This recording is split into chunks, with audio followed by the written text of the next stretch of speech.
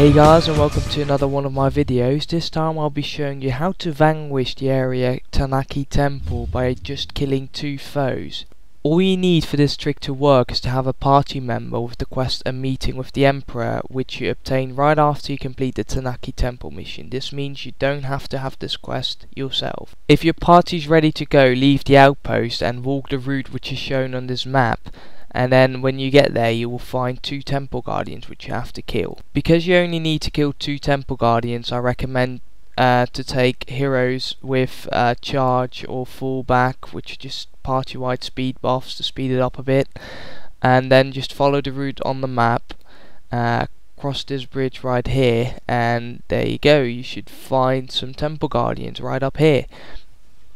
Now all you have to do to vanquish this area is kill these temple guardians make sure you follow this path and not another path because um, there should be some pop-ups of uh, Jade Brotherhoods and if you pop those then uh, this trick won't work anymore.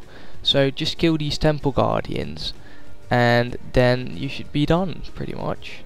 So that was a pretty short guide on how to vanquish the Tahnnakai temple area.